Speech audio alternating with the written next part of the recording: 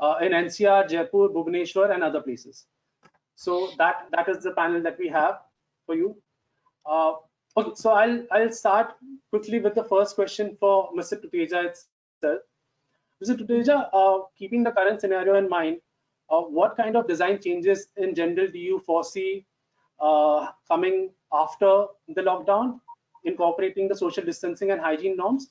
And how do you think we should encourage a population of 1.3 billion people, where population density of cities like Bombay is over 32,000 people per square meter, square kilometer?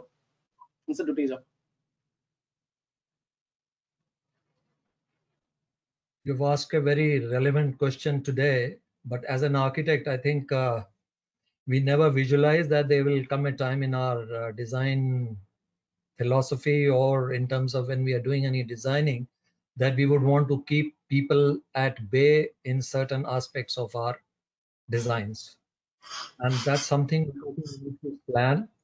And I think whatever I'm going to talk will be relevant to the buildings which have already been designed and completed, as well as a factor which needs to be taken into account because it's becoming more relevant now because COVID-19 is going to be here for some time. And that's something I'll start off when we are talking about social distancing, that's more on social front or at the community level. But when we talk about our building designs, I think I have come across uh, a term in the last two days that is uh, building distancing. Now we have to, I will give you numerous examples that why I'm saying the building distancing is necessary. Because there are many factors which happen in the building, which as architects, we never realize would happen in reality but in the last 20 years, because of the accelerated economy in India, a lot of things were imposed in a building or in the interiors, which we never visualized would be subjected to. For instance, I'll give you an example that today, in present scenario, if I talk about a commercial building of a medium size, you will have at least on a shell and core building concept. I'm not talking about one or two corporate uh, sharing a building in that case, you will have about 15 to 20 tenants and every tenant will have about 15 to 20 courier guys coming in the morning till afternoon. And then again, the same phenomena happens in the evening. Those are the kind of visitors which are not desired in any building now because of the infection rate, because they will bring trouble for us. They come into the offices and I think some of them even use the restroom facilities. So that translates into a kind of a design requirement, which we need to build in. We can't do it at the entrance lobby areas because ground floor areas of any building is very expensive in a commercial building. So we need to plan it that the future building should have a small area in basement where all these guys go and deliver the packets. So we are now talking about a virtual virtual delivery of couriers. So what would happen in that kind of concept that they inform the office and the office guys goes down and he receives the parcel and mm. that is something which needs to be done so that we avoid getting them into the building. So that is one area which again establishes some kind of a requirement in, in our mind. And the same thing should happen in the existing building. Now the second factor which you will see, like you go to cyber hub example I'll take. You go to any building, they're tall buildings, very large uh, or plate size. They have bank of 8 to 12 lifts and you go, every lift has a lift attendant. He's sitting on a stool, he's occupying space. Do I need that? They are unnecessarily increasing the traffic load onto the lifts which we have. So if I discount those 10 guys sitting in 10 lifts, that means I can reduce one lift in my design factor, for instance. That would not happen, but he is a nuisance today in terms of COVID-19 and they need to be removed from there because as it is, lift is a very congested area. So these are kind of things uh, which we need to look at in greater detail. Even at the entrance areas, we get a lot of visitors in every commercial building, every institutional building. How do we take care of them we need to do thermal scanning okay that's part of the facility management it doesn't affect the designer but somewhere along the line before we let them into the lobby we need to kind of create a empty room before the building so that they can be taken care because once they enter the building we are already back to uh, zero ground that the infection has come in or whatever, and we are unnecessarily trying to tax the existing security system. Okay. So on this, there's one factor which I'll just uh, uh, emphasize on social distancing. It has reached a stage where if we are talking about fire safety in a building, now we have to start looking at the whether the building is secured from the infection point of view. So that's something very critical for facility management to take care. It's not as much a design factor.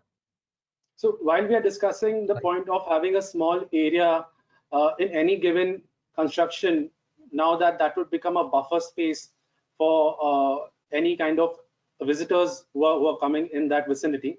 Uh, I think I would like to involve Mr. Amin Nair to uh, give in his feedback on this. How how do we include this buffer space and how can we make this more efficient? Thank you, Azim. Uh, I think before we really get into the physical dimension of how design spatially is going to get done, I think it's important to have uh, an understanding of how the pathogen spreads. And fortunately or unfortunately, this is a very universal pathogen.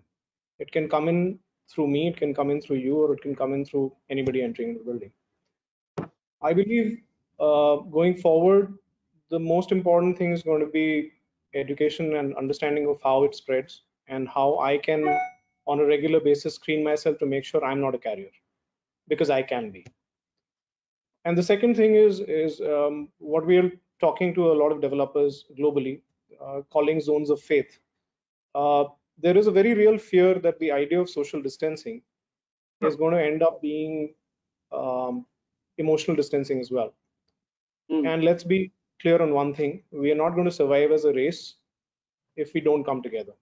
Businesses will not thrive, um, cities will not thrive. You can then live in the mountains. I mean, if you have an internet connection, theoretically speaking, and you want to go and live in the Himalayas, you're fine, right? You can do whatever you want to do. That's not how businesses are going to run because the guys who are employing us to do that business depend on having. There's an African proverb. I do a lot of work in Africa, and and it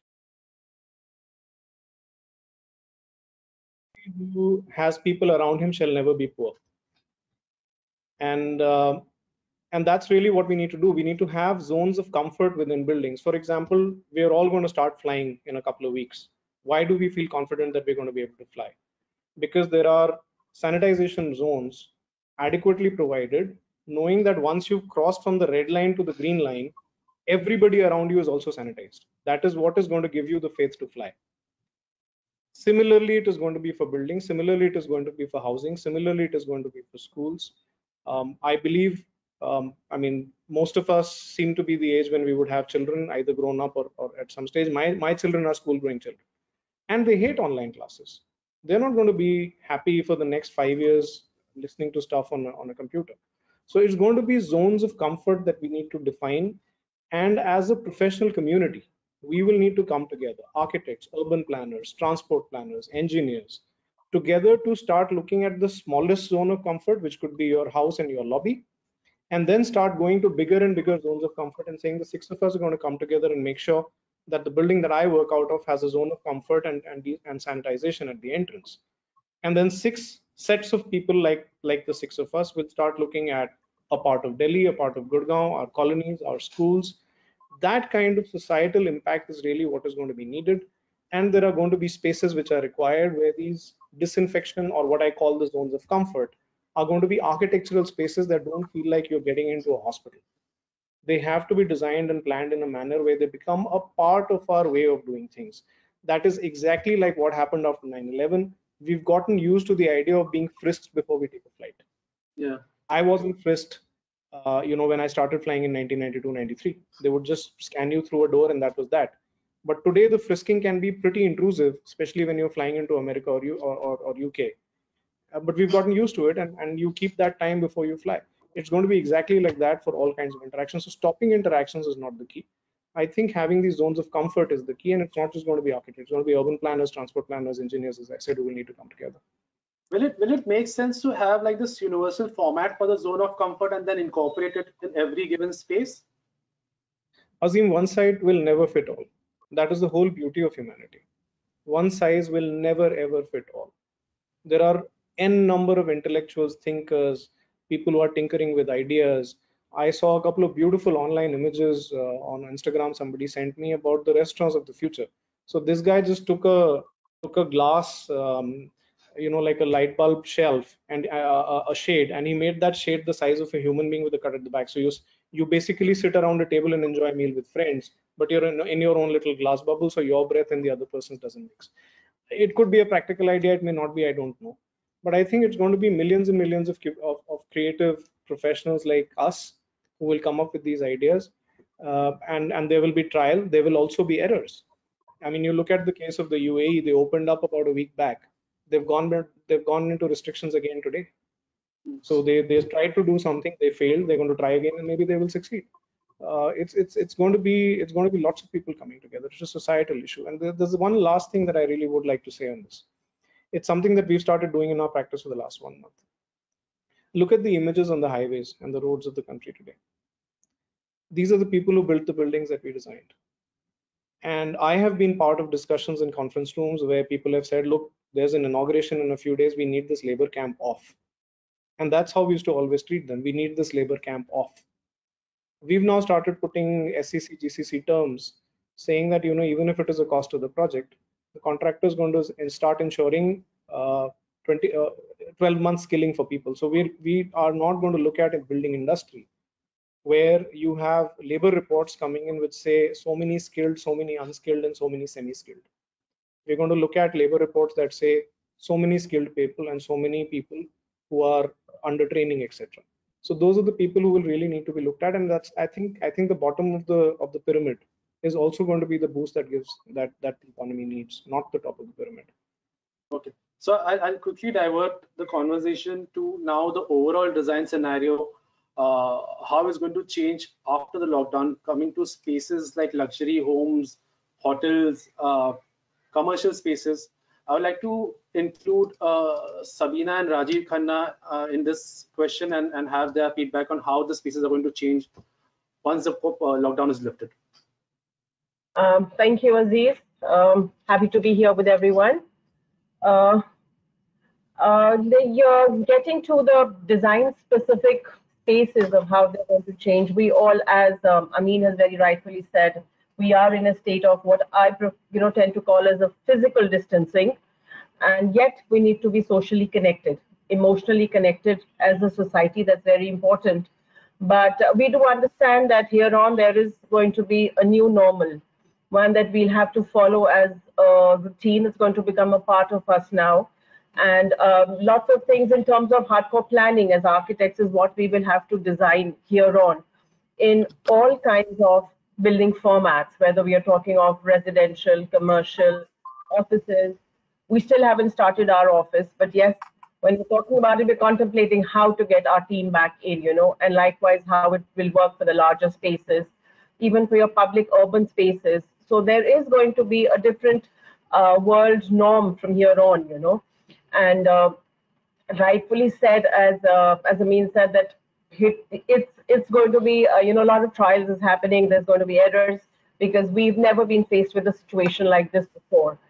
Um, so here on our thinking has to be very different. Um, we do need to collaborate across all disciplines it's not just us as architects who can uh, you know uh, design and create those spaces which are healthier happier and most importantly safer from here on. So it has to be people across all disciplines engineers and other uh, you know uh, professionals who have to come together to be able to uh, create those healthy spaces where somebody who walks in feels safe enough to be using those spaces. So it's a very vast topic. If i'm talking about is residential starting with residential starting with the very small houses in which we are. Not everybody's house was prepped up to work from home situation. You know some of us were fortunate enough to be able to work. Others were not. So here on you have to, hereafter, in fact, you have to think of how homes have to be prepped up and have isolation spaces or have um, small home offices, you know, where one could work from uh, without disturbing the rest of the family and the children and the elders as you would have. And if we're not talking about individual homes and yet in a larger residential communities, you know, maybe you come together in communities and where you have your club spaces you could create makeshift offices and those are the spaces where people could use as a community to come down and work from those who cannot work from their individual homes you know and of course likewise there would be many more for yet to maintain social distancing and your uh, norms of safety that need to be taken into account for sanitization. Coming to offices when you are in offices definitely there's going to be an entirely touchless experience is what you're wanting from the time you land in your car till you reach your seat you know. So there has to be lots of planning uh, uh, perspectives that need to be looked into now starting from your touchless entry from where you're happening to your sanitization but prior to that the offices need to be sanitized need to have deep cleaning needs to have been done hvac factors need to be taken into account uh, spatial designing in terms of uh, circulation, maybe just one way circulation needs to be done. I'm not comfortable sitting in an open office that I was over all these years. I may just want is a partly cubicled space now, you know, rather than where I wanted to uncube earlier. So maybe I still want my see-through, but I want my plexiglass or glass partitions coming into place. So, so we have, so you know, we would have the need to create barriers physical barriers, maybe not as much as visual barriers, but yes, for our safety, you know, that is what would need to be done.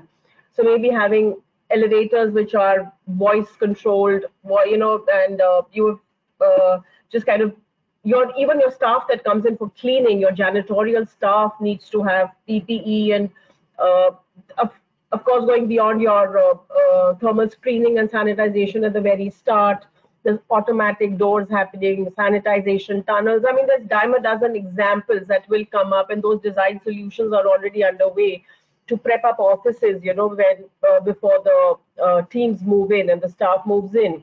And in spite of all of that, there are going to be lots of offices that will still resort to work from home situation. Not all of them are going to be having their staff back.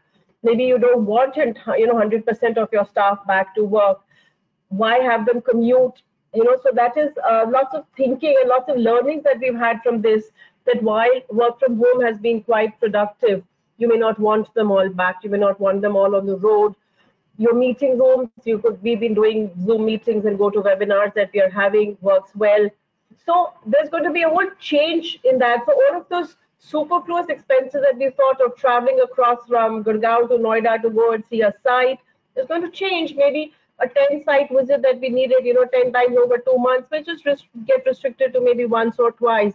Because eventually, at the end of the day, architecture is not just about seeing and hearing, it's also about feeling, you know, touch. So you do need to visit sites. You can't entirely discard that, that you can't. Though you could have high-end technologies coming in, have drones, you know, that could monitor sites and you can still be sitting at in your home, I mean, in your, you know, at your homes or at your workplaces and choose not to physically be present. You could have robots coming in, but then that all just becomes more capital intensive of how you want to go about it. But those are the kind of things. And yet still maintain physical distancing between, you know, your seats and spaces. There are two, three thoughts that I have, you know, while she's been talking, while listening to everybody. Can you guys hear me? Yes, yes. One is that we are very fortunate that we have technology at our side at this point of time as a human race because it, it makes it much more easier to face the challenge that we are facing. Second is with what is happening this distance we are going to we we are going to enjoy the luxury of space as we call it because the, the moment you have everybody has his own space that's six feet six feet side so you have that uh, 144 square feet of space to yourself as it is said, you keep six feet distance from everybody. But what happens to the guys who are, who we are, you know, who don't have a roof over their head? How are we going? They, you know, there are eight people, ten people in shanties in Dharavi and other places in the slums all over the country. So that is the challenge. How we are going to look at them, how they are going to come out of this situation, how it is going to go, how are we going to move forward as a nation. So these technologies on our side as we think and uh, we we are empowered and uh, empowering ourselves more and more with technology as we move forward And uh, we have seen what China has done, and we think we will also be at that stage at some point of time. But and the guys who are you know who have the luxury of space will get the luxury of space. But what happens? You know, we every day we see when food packets are being distributed, uh, people need to go to transport to their homes, etc. You have festivals. That is the biggest challenge we are going to face moving forward in the COVID era that as we are in. Yeah, humanity as a calling is also being shaken up, you know, with with with this um, crisis that I might say, you know, uh, much as we are talking and you're talking about all the physical, the you know that physical aspect of it, the buildings, how would they be retrofitted, redone? There are so many examples that can be done. I mean, I didn't touch upon HVAC, which is an entire topic in itself. But like Rajiv just pointed out, you know, it is also about the common man because eventually architecture is all about people, and you touch people across all segments, you know so it's going to affect everybody from the road to the one who's sitting in his AC large office. So and that's right all to come together. And I think Ashish is going to can tell us and guide us a little more that uh, what what do you think about this UV light uh, uh, you know concept that is coming through? Is it going to work? How is it going to happen? You want me to take that up, Aziz? Is that okay? Yeah, it's an open discussion. Need the permission of the moderator to go ahead with that. So Rajiv, I think you asked a fantastic question. Uh, it's out of syllabus for the time being, but yeah, I'll still go with that. Uh, so uh, first of all, uh, look, UV is the uh, uh, if you look at any of the any of the papers or any of the literature going around, UV is the way where you can kill the viruses. Not about only the corona. All the viruses can easily be handled using the, the UV technology. The challenge so far has been that the what is the strength and the time required uh, to kill this particular virus is not yet known. But if we keep that aside, there are enough corona family viruses which are still around from where the analogy can be drawn, and you can look at that that's fine. So it comes down when you want to kill a virus, it comes down to a function of time and a function of intensity of the UV that we are using. For a healthcare application, for a hospital, uh, doing those kind of things, what we call a, a, a upper room UVGIs and all are all that possible. But coming down to offices, where I've been hearing crazy stuff, uh, which people are claiming or which they claim to be doing, that uh, I'll put a. I heard one of the webinars that I was on the client said, I'm going to put UV lamp in my office. I'm going to replace all the tube lights or some of the tube lights with UV lamps. And in the night time when people are gone, the UV will be switched on. It'll disinfect the place. And next day morning when I'll come, my place disinfect. You know, I'm hearing things like those. But are those the solutions? Possibly no. I think what we are forgetting at the end of the day that prime cause for spread of the corona and COVID that we're talking of here is the contact with the droplets uh, the droplets which come out during the cough and the sneezing. And and social distancing for the time being uh, in terms of covering your mouth or having your hands covered what uh, Amin has got is the way to go. And all of these UVs and all are secondary protection around you. We can't make our offices into a into a, uh, in a hospital zone. I don't think that'll work.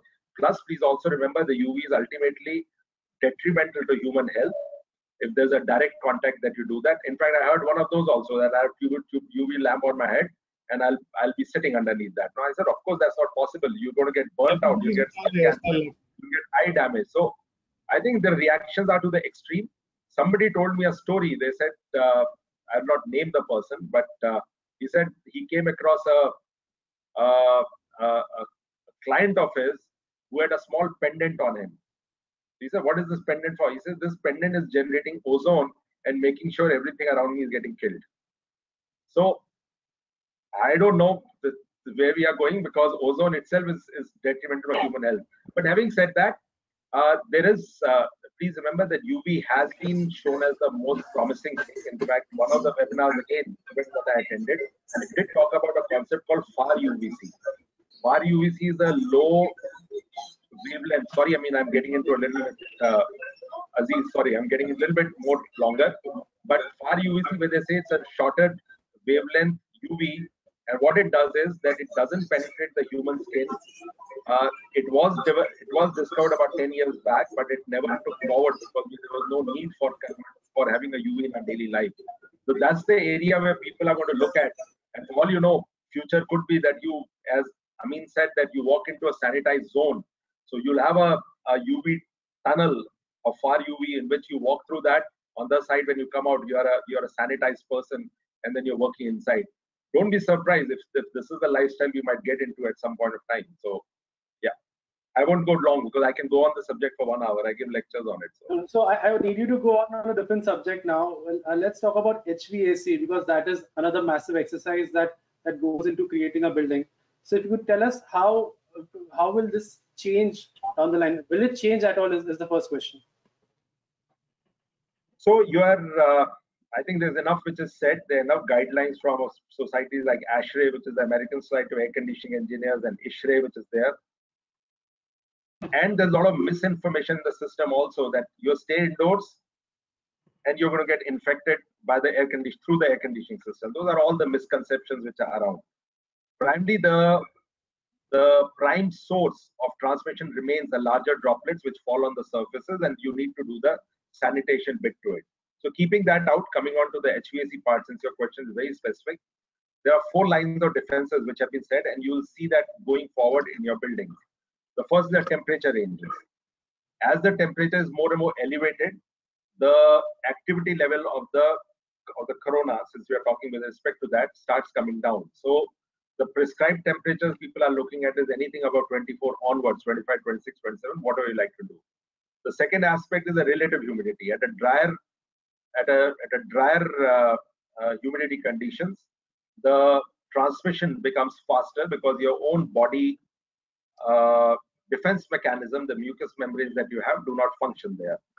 So relative humidity, which is higher, something on 50% to 60, 70% side, would, would would be something talked about.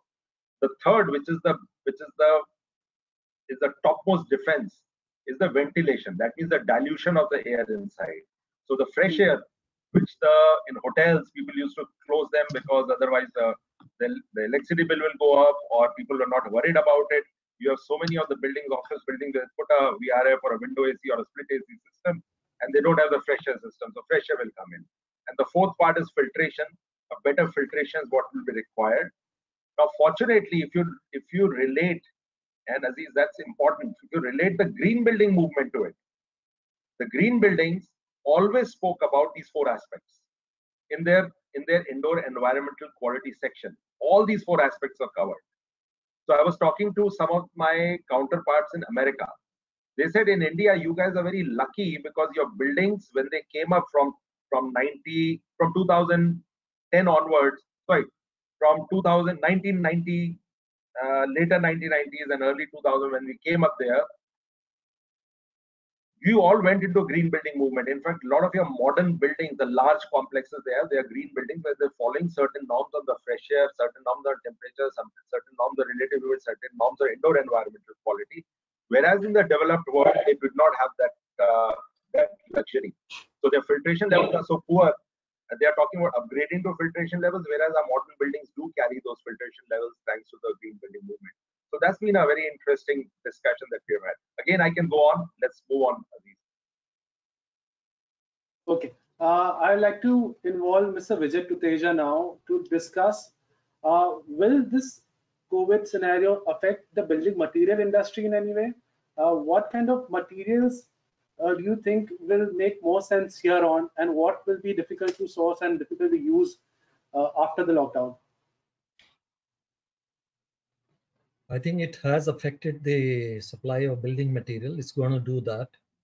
Traditionally, the month of March, April, May, the default materials which we have in our building industry, mainly uh, burnt bricks, we have coarse sand, we have fine sand, and we have uh, coarse aggregate for uh, making uh, concrete. Now, these are the materials which get affected by the rain. So, with the result that lot of stacking happens for the material much before uh, 15th of June on all large projects. Because once the monsoon sets in, you don't get any good quality bricks. So whatever has been stacked sells at a higher price. That's the reason why the material gets stacked. So that lead period which people had has been lost. At the same time, the businesses have also lost considerable amount of money because they didn't made breaks or uh, made money on the material they would have sold otherwise. And now we are, by the time all these sites get uh, started again, we will be somewhere in the end of June, the monsoons would have set in, the quality of uh, aggregate, fine sand and everything will further deteriorate because the silt factor goes up. So with the result that the quality issues at site becomes a major issue apart from the cost because the demand supply will always ba balance out. Cement price has already gone up for no reasons. In fact, uh, the cement prices have got no reasons to go up because there's this stacking time because for two months no cement was used and the cement would have gone stale because it has shelf life or whatever. But still the cement price has gone up and similarly the other building materials will go up but at the Will- same will time, when we talk about, go up because of this? pardon? Will real Yes, estate to some- also will go up? No, they they won't. They can't absorb these kind of costs because uh, the pricing which the real estate is now having is virtually uh, their profit margin is maybe about six to seven percent, and there's no room for absorbing it. So that's where the challenges are. Furthermore, uh, when we talk about uh, these materials, in terms of finishing materials, there are a lot of materials which we get from China, stainless steel, you name anything in the building industry, half of it comes from there for pricing reasons. So that will also get kind of a factored in because the rupee has devalued in the meantime. Plus, the imports are not going to be that easy. Uh, so with the result that we reckon that there'll be another 10 to 15 percent inflation on those kind of materials also. Then the other factor is that uh, if the staff which the real estate companies have, if they had a lean period and they didn't work, their overheads have gone up. So that also affects the kind of pricing, the, the basic cost of the unit, but they are not able to recover that. So with the result that it'll be in their own interest to finish the building much faster than they thought they would. So in terms of time delays and all, I don't foresee that it'll go more than four or five months, but it will have some impact there also. But moving forward, what has happened, the kind of labor movement which we have seen going back will push the aluminium shuttering to the front because there were a lot of people who were shying away because of the initial cost of the shuttering.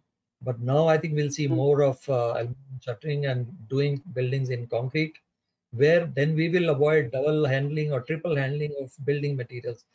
Like if you have a conventional concrete beam structure, you have first bricks to go in and then you plaster it, then you do POP, and then you do the painting. But if you do it in aluminium shuttering, you're just doing it in one go and you save about one to one and a half years of time by just doing that Mm. abortive works. Moving forward, I think that will become a kind of a standard. So that's another factor which I think uh, the designers and the architects need to take into account that if they're going toward the aluminium shuttering, they need to freeze the design with their clients. It affects the floor area also because the walls are going to be slightly thicker than what they are otherwise in a brick structure. Maybe you're talking about 100 or 115 either in bricks or fly ash. So all those factors will then start getting back onto the drawing board at the initial stages so that a design gets evolved and that's how the construction industry will proceed. Uh, Mr. Amin, we'll, we'll go a little off design now and talk about the economy of the country. Uh, as we know that, that the current scenario is not very bright, we, we uh, are not doing very good when it comes to the economy of the country. Uh, how in the near future will this will this recover anyhow? And if yes, then what steps do we need to take with respect to the real estate or design to uh, reach that space? So it's uh, so let me answer one question straight off. It will recover. Whatever has happened is an artificial stoppage of business. It's not like I don't want to build a house now. It's not like you don't want to go on a holiday. It's, It's an artificial of business, and it will recover. Hmm. From a from the standpoint of the real estate industry, there is something very interesting, and and you know, a lot of times when we speak about things on these, there's no answer that people have. So across the board, when you talk to real estate industry professionals and say, well, there's a crisis, there's a material problem, labor has gone away. Do you think that the price of buildings is going to rise? The general answer is yes, it will. Hmm. I have a counter question. Is anybody asking that to the vehicle industry? Guys, the economy is going through a bad time. Is the cost of vehicles going to rise? The answer is no. Cost of vehicles is not going to rise. Let me give you another example. An entry level car 15 years ago used to cost exactly the same in Indian rupees that it does today in the range of two and a half to three lakh rupees. At that point of time, the suspensions weren't so good. There was no smart entertainment system. You had to put your own audio system later on. No power windows, and the AC used to be very iffy. 10 years up, the suspension is better, the AC is better. It comes with a smartphone compliant audio system. Still costs the same. 10 years ago, the house that I constructed costed different from what I'm doing today. I think it is an opportunity for smart intellectuals to come in and say, guys, we need to look at a paradigm shift in the way building performance is measured. Longevity of buildings is measured, the weight of buildings is measured. India is a is largely a seismic country, at least three or four in most of the area zones, in certain cases five. Uh, why are we not looking at pre-engineering and lighter buildings? Um, upskilling. We call it the construction industry. There's very little industry in it actually. So you know, as Mr. Tuteja rightly said, if you wanted yourself a swanky building, you went to China. I have been hmm. part of projects where you said, oh, you know, we'll go for a shopping trip to China, we'll buy, we'll buy this, we'll buy that, we'll buy that, buy that, eight containers, they'll come in two months, we'll fit it up and it's all done. That used to be the supply chain. Today we have the hmm. opportunity of looking at alternative supply chains, building our own and getting into this design system. So the economic demand will be there. It is not that the demand has gone away. Yeah, there's going to be a hiccup, there's going to be a problem, it's going to have some amount of break, people are afraid. And a lot of fear also comes from the fact that we're going to have to relook things, you know, you can't just tomorrow morning open a hotel and say we're open for business. You need to get the patrons to feel comfortable about it that you know whoever slept in that bed last night i've cleaned it up and you can come and sleep in it there's no problem. Those things will take a little bit of time but i believe that they offer a massive opportunity a huge upside to the entire building industry to get its act together and and really move up the value chain. We have consistently been moving down the value chain consistently been moving down the value chain. We've become almost commoditized even from the intellectual fee. I mean, nobody does competitive fee bidding for lawyers. I'm not aware of it, or doctors, but we do it for architects, uh, even engineers. I mean, consulting engineers quote a fee and give a give a you know give a what is it called? There's a government term for it, uh, earnest money deposit (EMD). So there's something you know something something's unhinged, something's un, you know something's broken, and I think opportunities like this, and I'm deliberately using this word. It's an opportunity. We've got the time. We're sitting here and talking about it. Intellectuals are coming to it. I didn't know mr tuteja a week back. I didn't know the other people on the panel a week back. Today i suddenly know five four five other intellectual people who are thinking. I can i can pick their brains. They can pick mine and we can come up with a solution. This is i think an incredible opportunity. Incredible opportunity for growth and business for those people who focus in the right direction and have the staying power for the next six months Uh, can I come in just to support your point? You're talking about opportunities. I think it's the scale which will determine. There is one level where I don't think we'll have any choice but to go to most probably China and get this. For instance, just the lifts alone. If you're looking for one second, uh, one meter per second lift, nobody manufactures them here. You still have to go to China because of the scale. And how many buildings are we doing in India which require those kind of lifts every year? Maybe 100, 200 towers, or maybe 500 towers, and nobody will come and put up a plant as an opportunity. But I think the opportunities are there at a much smaller level. Just to give you an example further, about the Commonwealth Games time, the Jindal Steel put up all these kind of nice TNS steel bus stands all over Delhi it was a treat to see the kind of uh, good work they had done. It was a high quality steel they had produced. You go to the shopping malls, every mall has got these fancy stainless steel railing which comes from China. Why can't we do that in India? So just to talk about that scale, I think there's a huge opportunity in the building industry that people should now be looking at a kind of proprietary type of activities to kind of get into and develop those kind of niche areas rather than just inventing because everybody is going for a turnkey solution where they're just trying in-house capabilities to produce a result. I think they have to go one point beyond and now start specializing in certain areas and say that, okay, this is what we do and we will do it with a passion and a good quality work. So I think Why- the why- time has come that in the direction. While we are at discussing importing technology and technological advances in the real estate and architectural industry, uh, I would like to divert the attention to 3D printing as well in, in real estate and in architecture. Now that we are having this shortage of labor, uh, will will 3D printing somewhere be the next big thing? I would like to divert divert this to uh, Rajiv and Sabina. I think uh, technology-wise, 3D printing has got limitations in the building industry, and uh, because of the rigs that you need to fabricate along with it. But yes, there is a lot of scope for development, and it's going to take some time, not in the near future, because different people in uh, Europe and China have tried different things. Hmm. But it's the technology is there, but it's in the future maybe it will get uh, yeah i mean you want to say something no, please, I'll, I'll come in once you finish. No, I don't want to interrupt.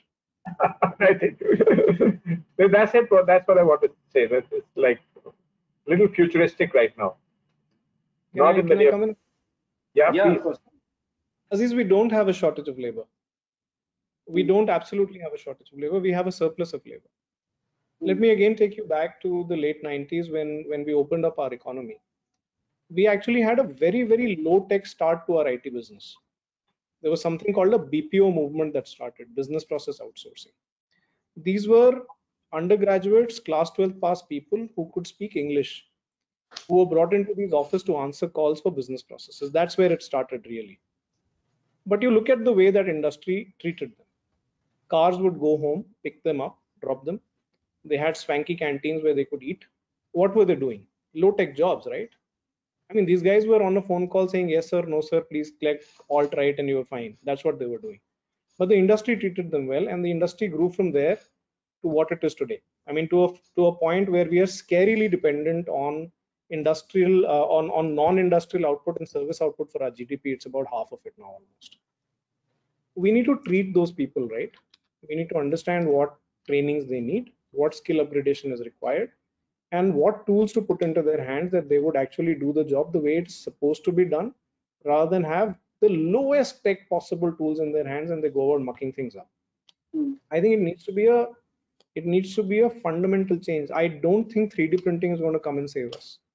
Our roads are not going to be 3d printed. Our bridges are not going to be 3d printed. Mass housing is not going to be at any point of time 3d printed anytime soon. Those Hmm. compounds simply don't exist. We have labor. We need to train them put the right tools in their hand and that's like i said a massive upside of opportunity. Massive upside of opportunity on this. Mr. Ashish, you wanted to add something? Yeah, I do want to say something here. Uh, on one side, I do I mean, agree with Amin, but on the other side, uh, I do want to put a point. You know, it's not about just 3D printing. There are many technologies out there which India can benefit from. Our design community can benefit from. Be the architects or the engineers, it doesn't matter. In my personal opinion, these technologies will take much longer time in India to get implemented because our businesses, whether it's architecture, engineering, are not viable. The way we are doing business, and I mean, did touch on it, the way our our our uh, the fee are and uh, uh, the way we code, the way we do business, those are unsustainable ways, and that leaves very little pocket in your money. Uh, we are working on margins which are which which any businessman would tell you is not even worth doing. What are you doing? What are you guys wasting your time for?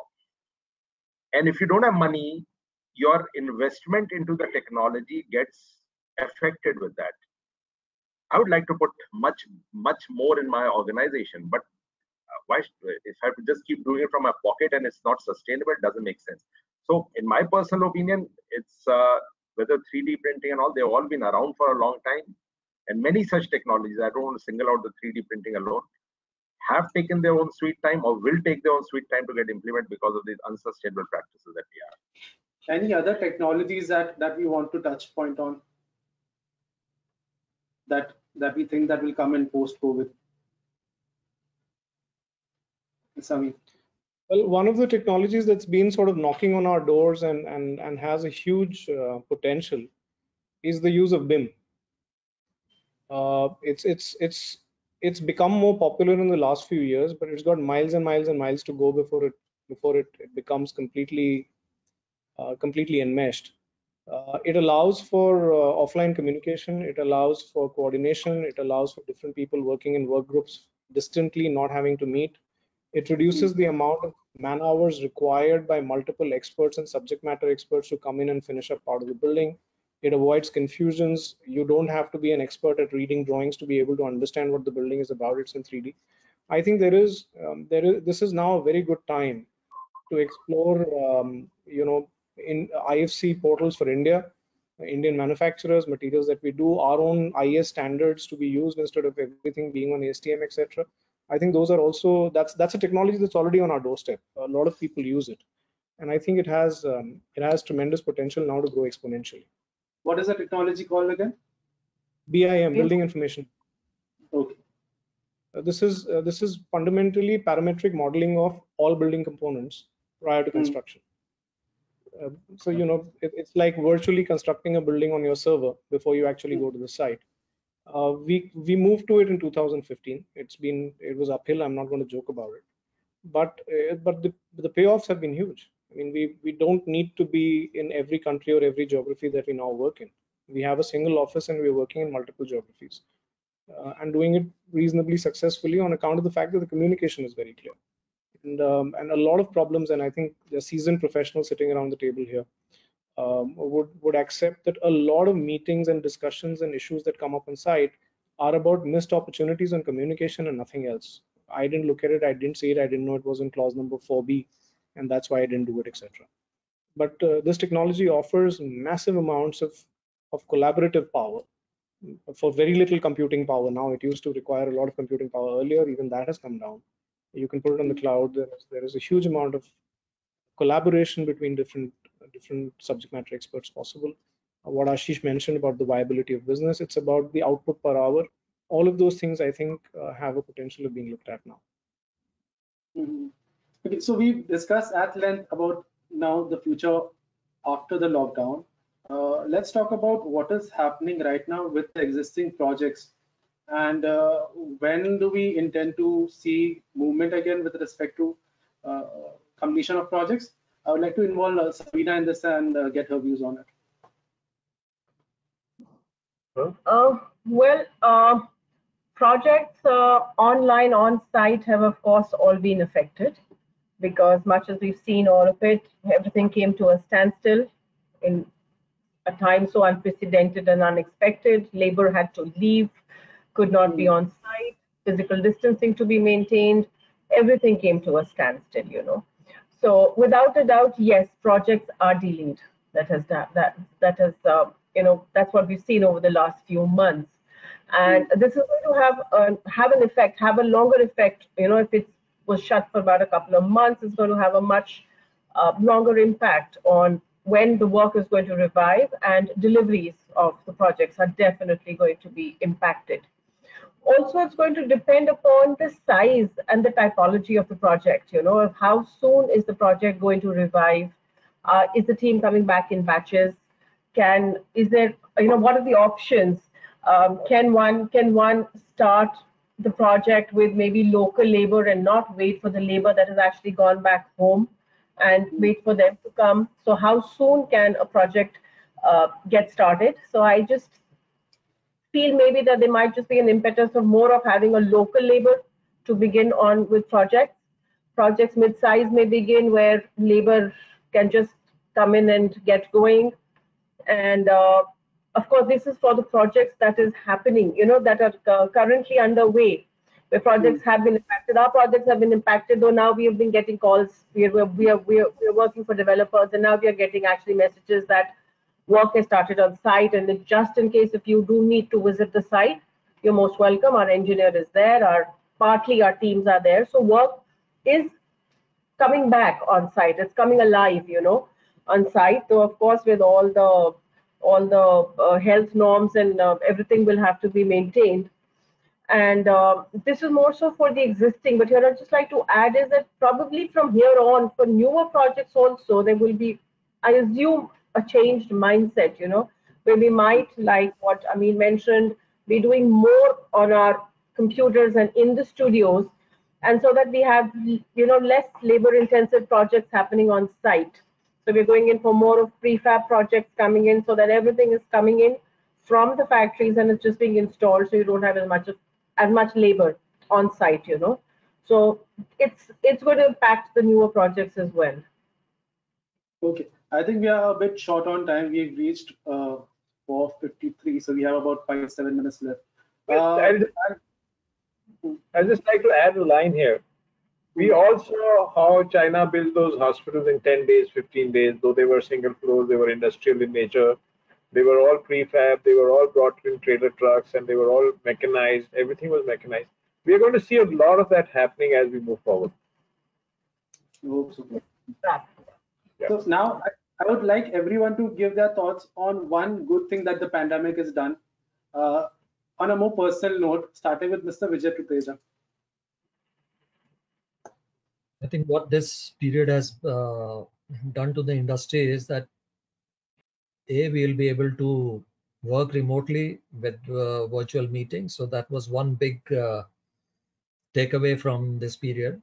Like we successfully uh, cater to all our sites uh, because all our sites started about three weeks back. Uh, so that was the advantage. Uh, while the uh, Delhi got open today, but the uh, sites in Haryana as well as in Bhubaneswar started three weeks back. So with the result that we were able to get all problems solved, and that was one big take we had from here. And the other thing is we still need to kind of uh, innovate to the extent what we were doing earlier. We will be still looking for value engineering the labor uh, issue is now going to become a major issue though we didn't see the labor issue as to the extent which the press was showing the media was showing. Historically this is the kind of a period when the labor goes back. This time it was a forced kind of a situation on them. We are still trying to assess whether it's the labor part which is going to come back first or the skilled artisan or the semi-skilled artisan. The hmm. labor doesn't really affect the site movement, but the progress of site depends on the skilled and the semi-skilled artisans in every field. So that's something which we still need to assess. But uh, overall, I think it was a kind of a setback to the real estate, real estate industry that a lot of cost went in without getting any uh, fruitful results from it. Okay.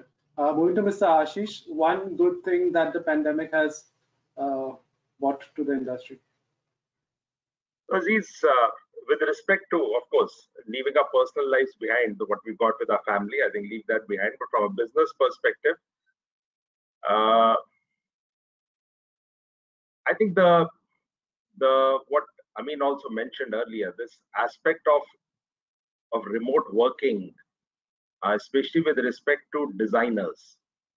Now, I'm sure most of the designers in this time has been quite busy.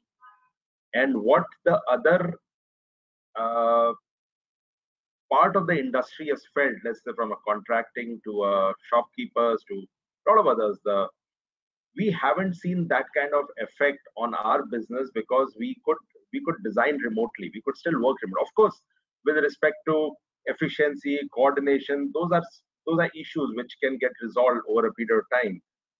Uh, but the good part that emerged is that yes, the work can be done remotely as far as the design is concerned.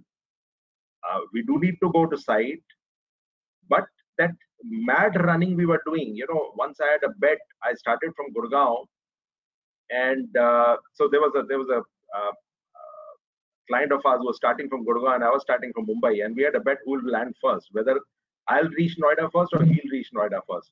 And actually, we reached nearly at the same time. I came from Mumbai in one and a half hours, and another 45 minutes I could reach there, and he came come out of Gurgaon took about an hour.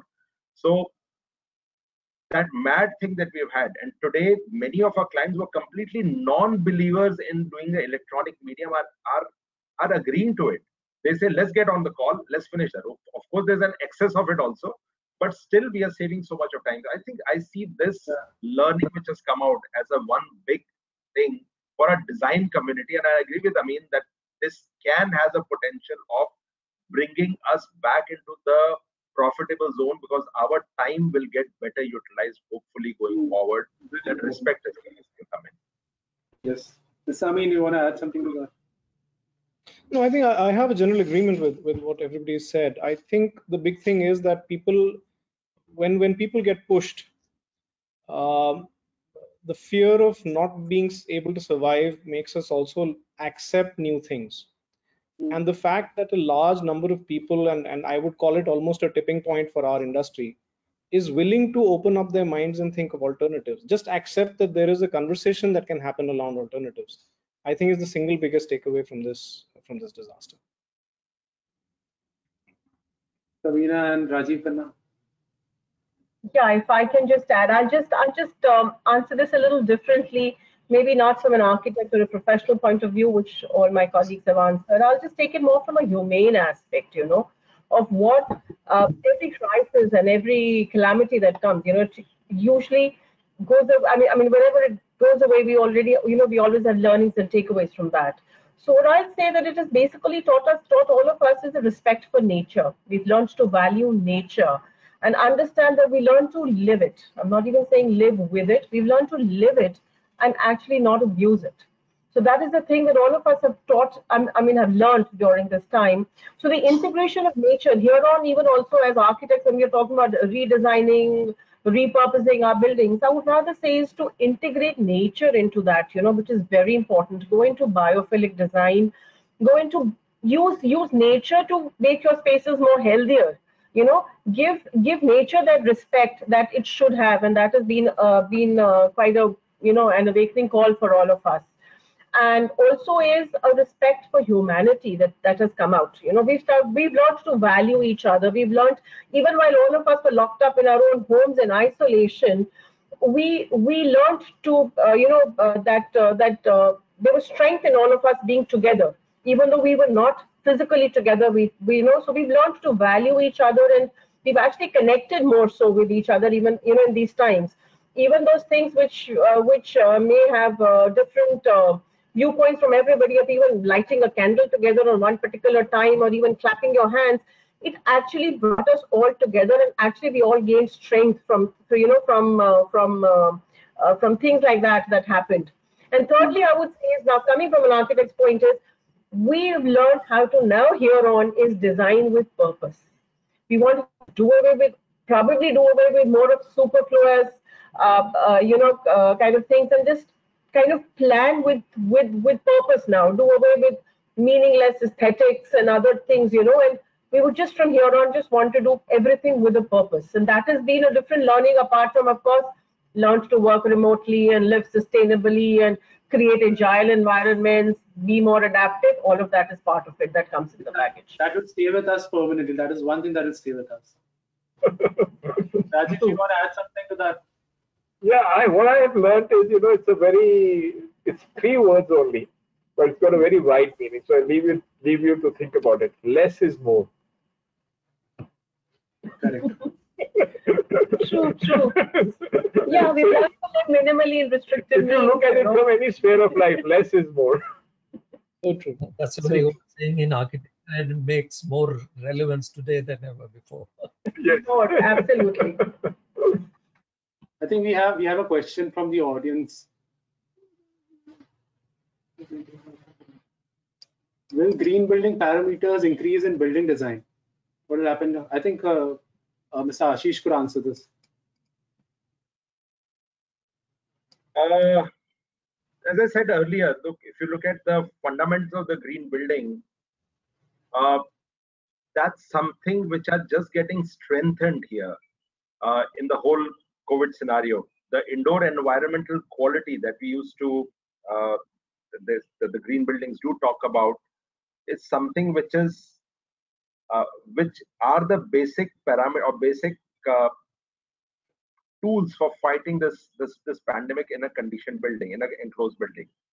Number two, even if you look at from water perspective, we spoke about a good quality water, the water being uh, safe, a certain sort of hygiene standards to be to be maintained, and the same thing has been shown that in the, the transmission of a of a disease through water or this particular disease to water very low because of the if in case you're doing the treatment on of it, you're following that. Similarly, on the materials part, that you use the ones with the low VOCs, you're not generating aerosols, and aerosols are also been regarded as one of the carriers for this for this uh, virus.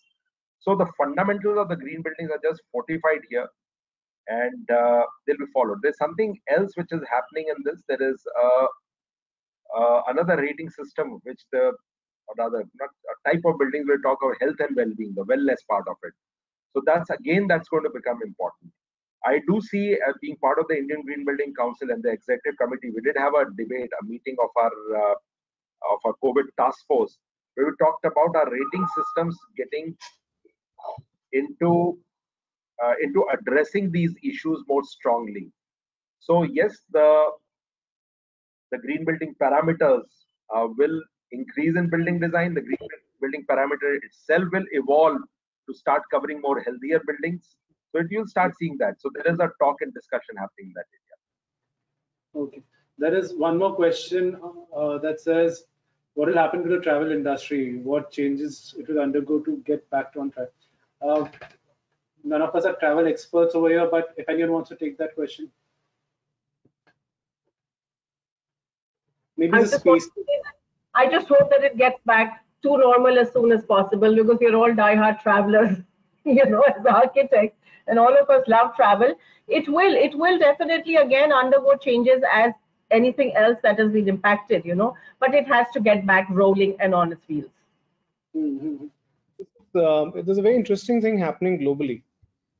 Uh, for the first time in many, many years, inter-country cooperation on economics and industry and trade is happening on the basis of human safety.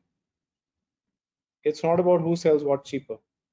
So if today one of us wanted to travel to the UK, the UK government and the Indian government need to have an agreement that an Indian health pass is going to be valid in UK.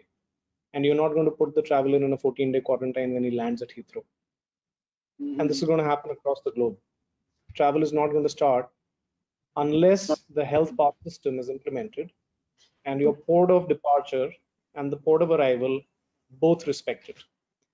And I believe that that is going to open up a huge amount of interactions between countries because obviously the drivers would be economy and trade, but the basis would be human safety.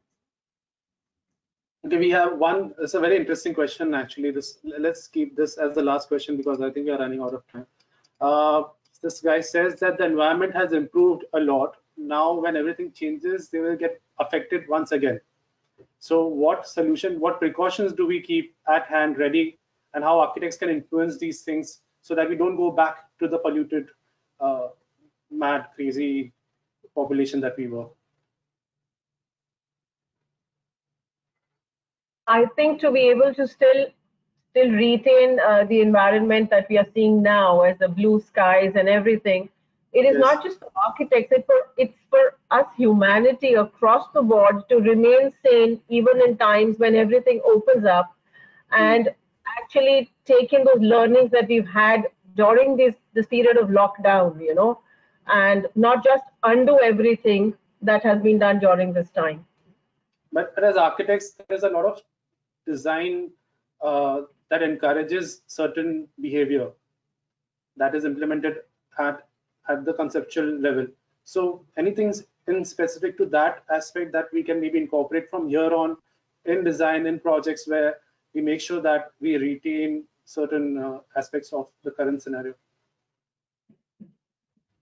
Two more questions. I think that would be done in any case. I mean, you know, uh, the reasonable logical thinking and planning that is done yes, we would have, we've had more learnings, you know, which would now be done and uh, maintained for all projects. No, all of us have become, all of us have become more sensitive to the environment as uh, in these last two months. And as uh, all seminars and discussions that we have been having, it, everybody, everybody has become more sensitive to the environment and to consumption. And everybody is looking at, you know, uh, consuming less in terms of uh, not human consumption as such, but building materials, looking at different alternatives to how to construct buildings faster. Travel to avoid superfluous travel. You know, you're reducing carbon footprints. Uh, I think I think it's just going to be the general way of living here on. You know, which is going to change. And uh, we per se professionals who um, can think, of, you know, can yeah. Go ahead, Ashish. No, no, finish. I was just giving a signal to Aziz that I like to speak. okay. So I just feel that we as uh, we we we as the creative industry, you know, will definitely rise to this occasion, and as we've always been doing, you know, but more so there has there will be a contribution across the board from people in general also. Hmm. Yeah, Can I add sorry. something here? Aziz, one sorry. You want to go ahead? Please do that. Basically, what I was saying was that whatever has uh, been gained in the environment, I think we need to preserve that. And like they say, charity begins at home. So I think everybody needs to now spend more time with the family, not travel unnecessarily on the road over the weekends or whatever, and preserve mm. the environment as much as we can.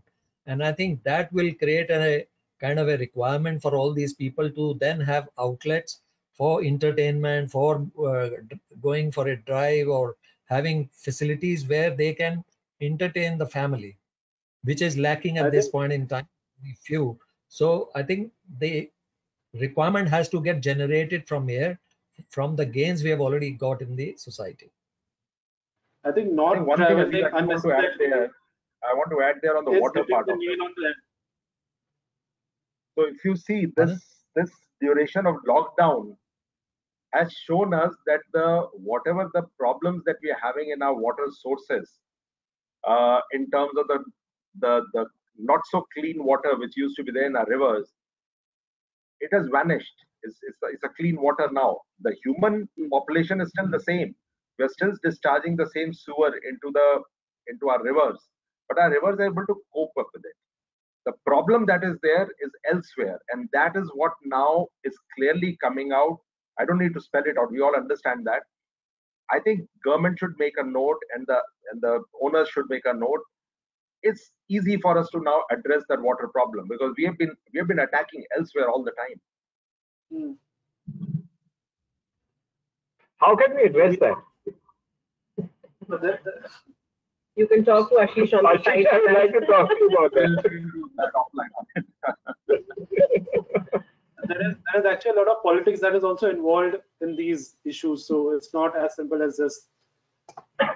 If you bring back the politics, then the, the blue skies are gone. So let's talk about how we rise above the politics and do it. yeah. You know, we, we ourselves have to get into politics for that. Yeah.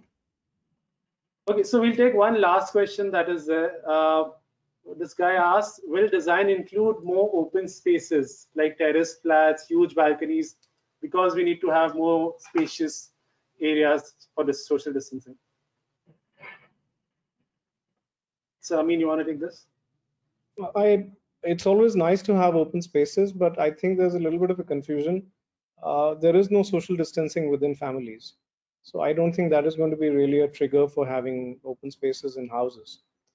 But uh, we spoke about zones of confidence and zones of safety in our urban areas. Mm. Um, yes, I think uh, I think incorporation of of green urban natural spaces or even semi-designed urban open spaces uh, needs to become a priority so that so that the people who today uh, find the city alien and and because they live in smaller houses they have nowhere else to go to and they want to go back to the village the, the, the city actually has enough space enough social space for mm. them to be able to have a relaxing time and, and and it's part of urban design and, and again a little bit of politics as well but yes i think it would it would be impacted and, and people would appreciate it a whole lot more now than earlier especially if the air remains cleaner okay okay i think just to the end of the discussion uh, there is anything Gautam can probably message Okay, so we'll wrap this up. Uh, I would like to thank all the esteemed panelists that have been taking out time for this session. Uh, Thank you, Ashish Rakheja, Rajiv Khanna, Sabina Khanna, Amin. Thank you, Vijay Tuteja. Uh, thank you, Aludecor, for organizing this session for us, and the audience for being there with us throughout. Thank you, everyone. Uh, we hope to see you in the next discussion soon. Thank you so much. Thank you, eminent guests and panelists, and thank you all the audience who have joined in. I hope we all have received good information, good insights, and we should be taking home a lot of information and insight uh, after this session. We hope to keep you updated. We hope to keep you knowledgeable. Thank you. Stay safe. Take care. If one Bye-bye. thing that everyone you, wants to everyone. take off from this discussion, Bye-bye. I would say not to travel unnecessarily was hitting the nail on the head. That is something that we should uh, try to try to keep as our daily uh, thing from here on. Yes. Thank you, Amin. Thank you, Thank Aziz. Thank you. Thank you. Thank Take you, guys. bye. Thank you. Nice sharing the platform with you. Take care. Bye.